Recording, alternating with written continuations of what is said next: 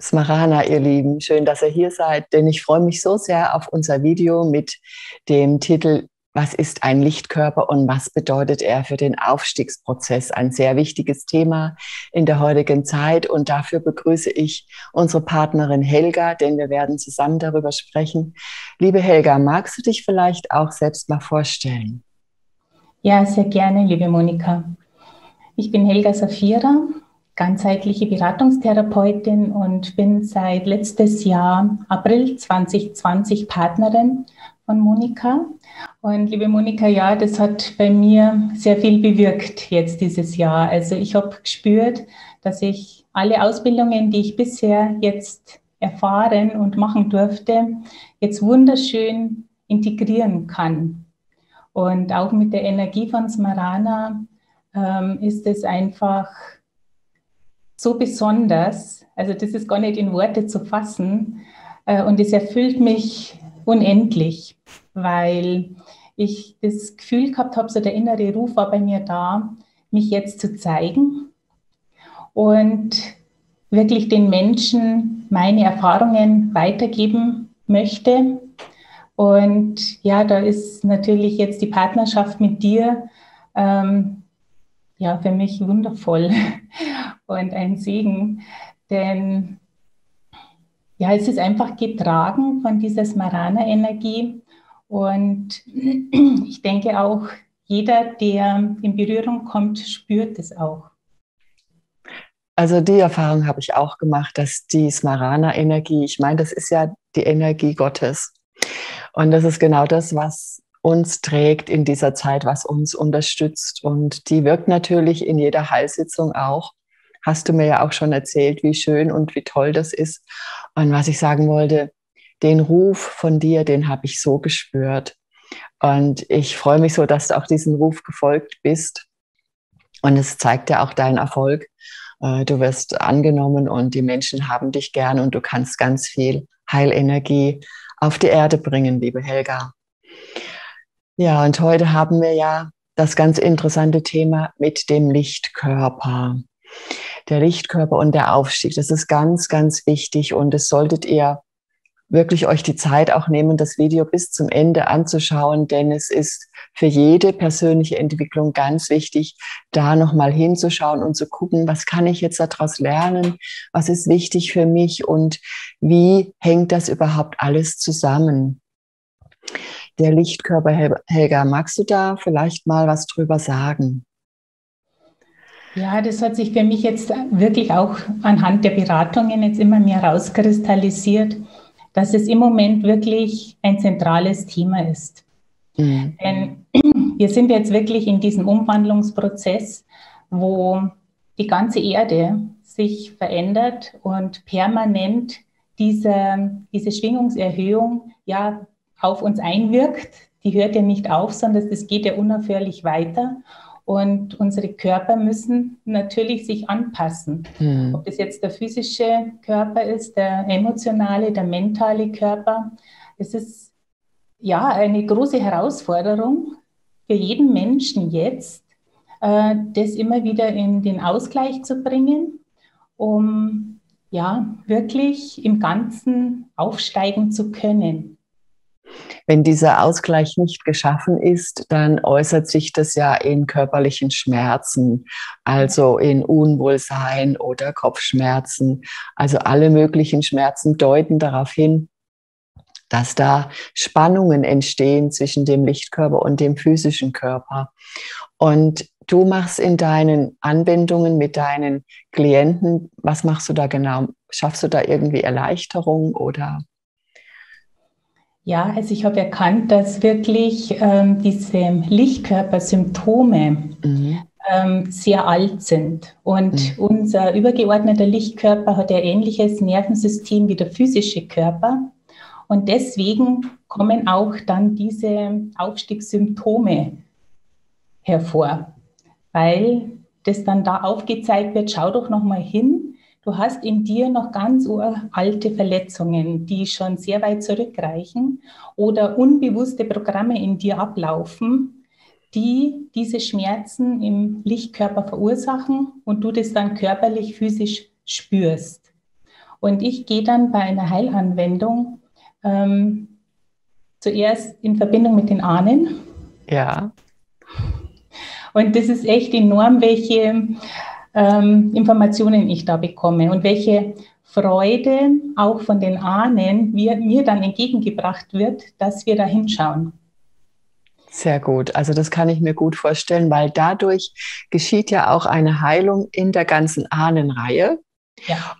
Rückwärts gesehen, aber auch vorwärts gesehen für die zukünftigen Familienmitglieder, sage ich jetzt mal so. Und das ist natürlich ein ries, eine riesengroße Chance für eine große Heilung. Und gerade jetzt in unserem Aufstiegsprozess, wo wir ja die ganze Erde, alle Menschen drin sind, ist es natürlich wichtig, je mehr geheilt wir sind, umso leichter geht das alles. Es geht ja um die Leichtigkeit. Und das ist genau der Punkt. Du hast jetzt gesprochen von Verletzungen, Helga, ähm, emotionale Verletzungen vielleicht. Magst du da auch noch mal was dazu sagen?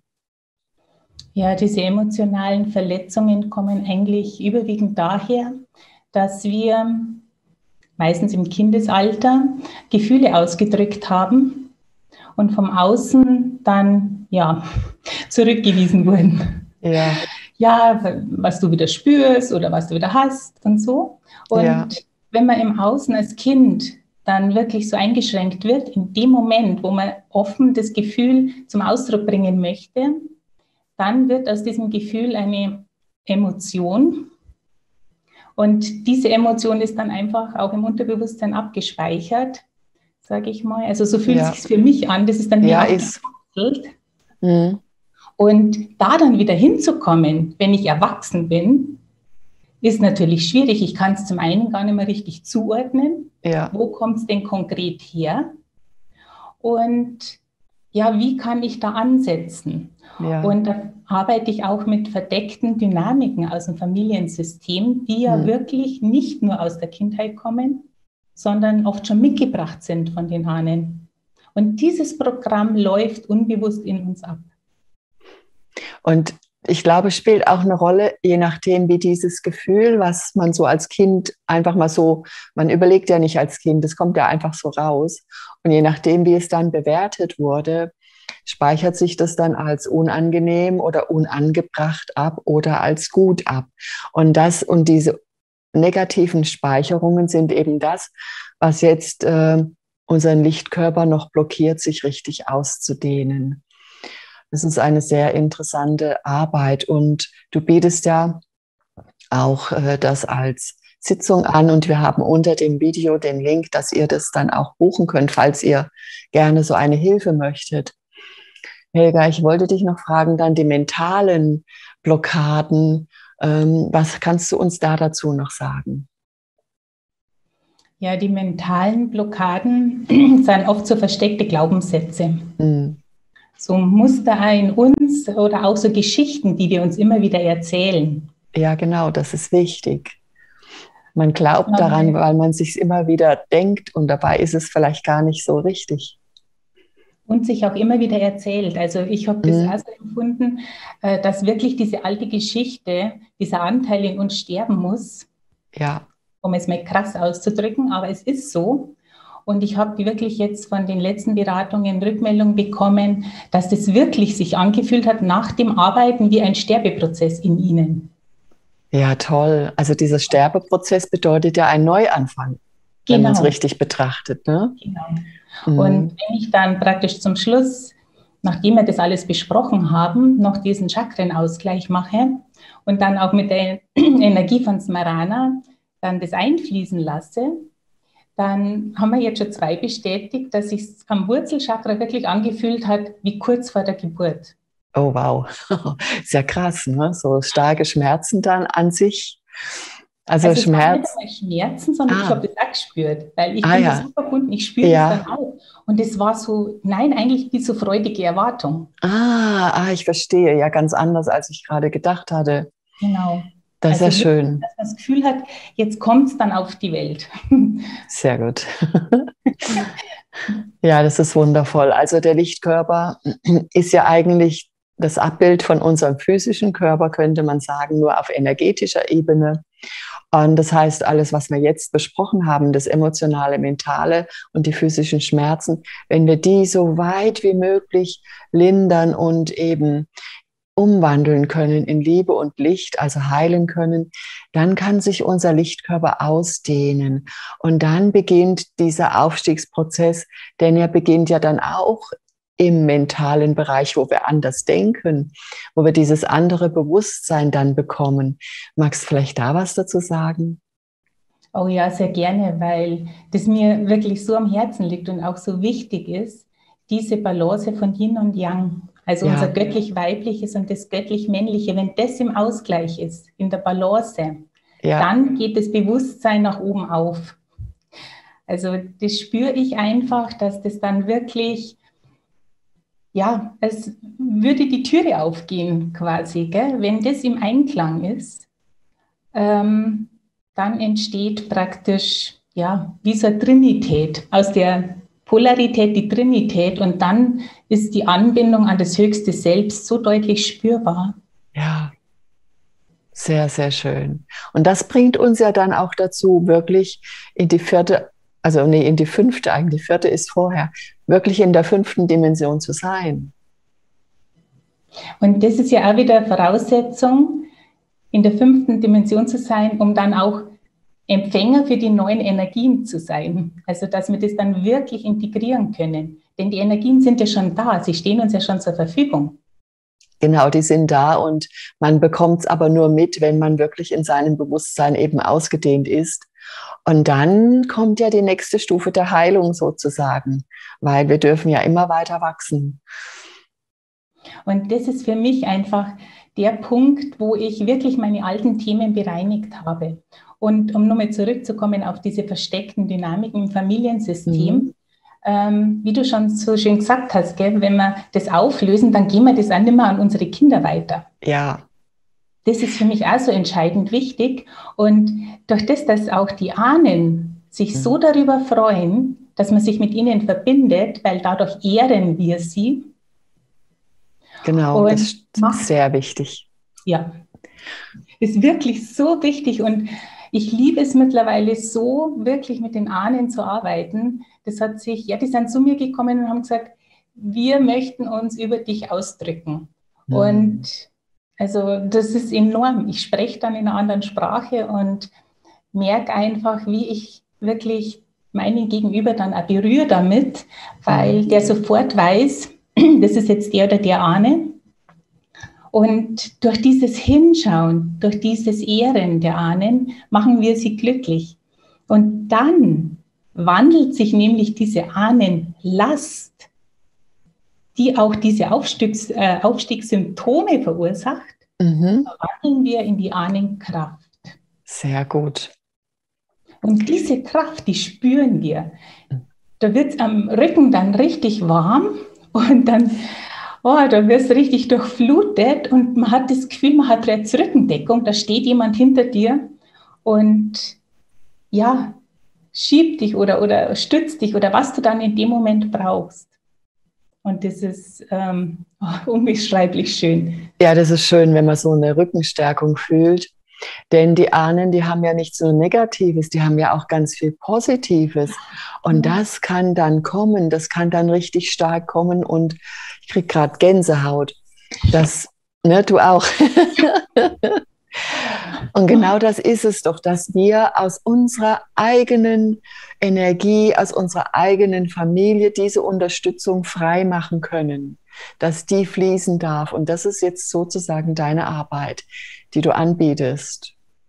Denn ähm, wenn wir das erlösen, erst dann stehen uns ja auch die ganzen, das ganze Potenzial zur Verfügung. Erst genau. dann können wir eigentlich diese Erbschaft unserer Ahnen annehmen. Ja, ja. Es geht vorher gar nicht. Und ja. da gibt es eben diesen Spruch, ohne Wurzeln keine Flügel. So ist es. Das ist ein schöner Spruch, ja. Das war ja, mein... zusammen, gell? Ja, ja, eben. Sehr gut. Also es ist total, total wichtig, da hinzuschauen und ihr Lieben, wenn ihr spürt, dass ihr was in euch tragt, was euch belastet, dann kann es natürlich was von den Ahnen sein. Ja. ja, oder aus der Kindheit. Und da sollte man wirklich intensiv einfach mal in die Heilung gehen. Denn je mehr Lichtarbeiter geheilt sind, umso stärker werden wir ja für den Aufstiegsprozess, in dem wir uns befinden. Und je mehr du deine Richtung gehst mit dieser Rückenstärkung, stell dir das mal vor, dann kann im Kollektiv, völlig egal, was da passiert oder gesagt wird, das berührt dich dann gar nicht mehr, weil du weißt, du gehst jetzt deinen Weg. Und das ist ja das Essentielle, deinen Weg wirklich bewusst zu gehen, ohne beeinflusst zu werden. Ja, weil diese Überlagerungen, die wir da so Schicht für Schicht ablösen, um wirklich wieder zu unserem wahren Sein zu kommen, hilft uns dabei, wieder die innere Sonne strahlen zu lassen. Genau, diese Kraft, diese Sonne, das hat ja so eine Kraft. Äh, ich verbinde die Sonne einfach mit dem Herzchakra. Das siehst du auch so, oder? Ja, bei mir ist es mehr eigentlich fast schon der Solarplexus. Okay, oder ähm, beides zusammen, ja. Also hm. Dieses Sonnengeflecht, unsere Körpermitte, das sage ich dann meistens dazu, die ist jetzt fließend, strömend warm. Ja, also ich spüre es jetzt ganz intensiv gerade. Vielleicht ja unsere lieben Zuschauer auch. Würde ich mir ja. wünschen. Ja, bestimmt. Ja, weil es geht ja darum, dass wir unsere innere Sonne strahlen lassen. Denn je mehr wir strahlen, desto weniger Schatten ist im Umfeld. Ja, das stimmt. Das große Licht der Seele, das mag ja auch strahlen. Und wir tragen ja auch alle diese göttliche Flamme. Und je mehr dann die innere Sonne strahlt, umso mehr leuchtet diese göttliche Flamme. Und das hängt alles mit dem Aufstieg zusammen. Stellt euch vor, es sind wirklich jetzt ganz viele Menschen da, die diese Leuchtkraft tragen, was das ausmacht auf der Erde, wie schön es dann wird. Und dann kommen wir ja auch raus aus den pessimistischen, belastenden Dingen, die im Kollektiv laufend äh, ja, angeboten werden, sage ich mal. Und das, so stelle ich mir das vor auch, dass unsere Lichtarbeiter, unsere Menschen dann in die Heilung gehen können und alles, alles unterstützen.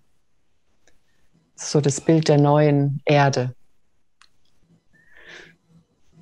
Ja, doch, also ich sehe das auch so.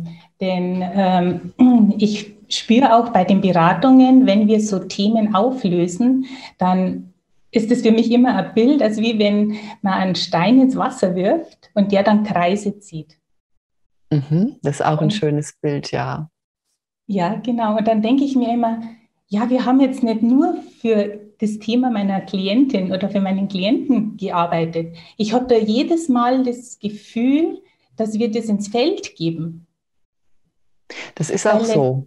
Ja, weil letztendlich haben wir ja alle die gleichen Themen. Ja. Wir schlagen ja, uns ja schon ewig mit den gleichen Themen rum, weil jedem ein bisschen anders da gelagert, aber wir sind ja alle verbunden. Wir haben alle das Gleiche erfahren, erlebt. Ja. Und wenn wir da so arbeiten, dann empfinde ich so, das geht ins Kollektiv.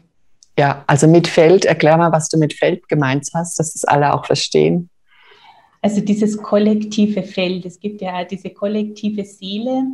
Und da habe ich einfach, spüre ich so eine Verbindung zu allem, was ist. Und es gibt ja keine Trennung. Das ist ja mhm. nur so ein Konstrukt, das uns ja auch irgendwo anerzogen oder ja, eingetrichtert wurde, sage ich mal, ja. um unser Licht zu dimmen, um uns klein zu halten. Das war ja im Prinzip ja auch wieder wichtig, dass wir diese Erfahrungen sammeln, weil wenn wir von Anfang an schon gewusst hätten, welch großes Licht wir sind, ja. dann hätten wir gesagt, ja gut, dann brauchen wir die Erfahrungen nicht mehr. Also so ist hat das. Ja Berechtigung, gell? aber ja, ja. es geht eben darum zu erkennen, ähm, ja, wir haben die Erfahrungen gesammelt und sind unendlich dankbar dafür, weil diese Erfahrungen haben uns ja praktisch dahin gebracht, wo wir jetzt sind, haben uns zu diesem Diamanten geschliffen, der wir jetzt sind. Das wäre sonst nicht möglich gewesen. Und das dann zu spüren, immer mehr, wer wir wirklich sind, dass dieses physische Sein nur ein sehr kleiner Teil ist, sage ich mal. Und unser höchstes Selbst, unser göttliches Sein ja viel, viel größer. Und die Herausforderung ist halt jetzt auch noch, dass wir den Verstand mit dem Herzen vereinen. Und das ist eben dieser Ausgleich Yin und Yang, dieses weiblich-männliche.